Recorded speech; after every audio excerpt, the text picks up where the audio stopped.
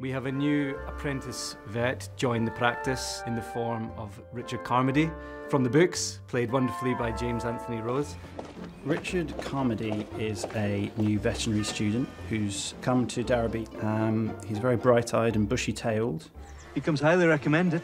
Top scholar in his year by all accounts.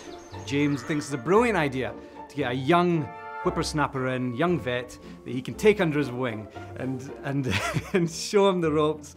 Uh, and he'll be a mini me. He'll be a mini James, and it's going to be absolutely fantastic. Richard Carmody from London. He won't last. Siegfried, who's, as you know, not particularly uh, kind to new assistants, and indeed tried to sack James after 24 hours. It's a pleasure, sir.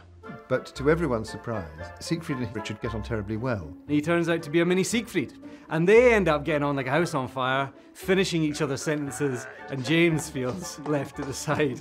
Uh, it really doesn't go to plan at all for him, uh, and he ends up almost the butt of the jokes. Last one's the man of a rotten egg. How did I become Tristan? I like about Helen is her sort of emotional intelligence, really. When she first meets him, she's really just watching and kind of observing how he is. And I think she sees that maybe he struggles with the sort of social situations and the nuance of certain situations as well, which is his charm. So, um, yeah, there's new, fresh, interesting dynamics with that. Will you stop for supper? Rather a lot to catch up on, I'm afraid. Right then.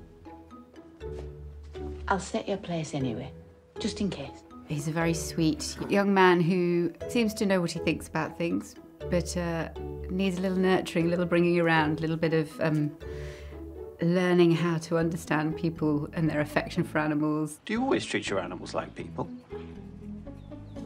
Richard is a little bit too sure of himself, perhaps. The animals are the easy part, of course.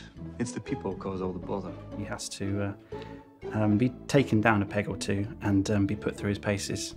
Reducing her exposure to allergens has decreased the chronic inflammation of the lungs. That means she's on the mend. Siegfried cuts Carmody much more slack than he did James or possibly anybody, and so Carmody is allowed to lose a little bit of his book learning. Like change of plan. I really hit the ground running, do a lot of my big scenes quite early on. But everybody was so welcoming and nurturing and, and encouraging, and it's, it's just great fun to be a part of.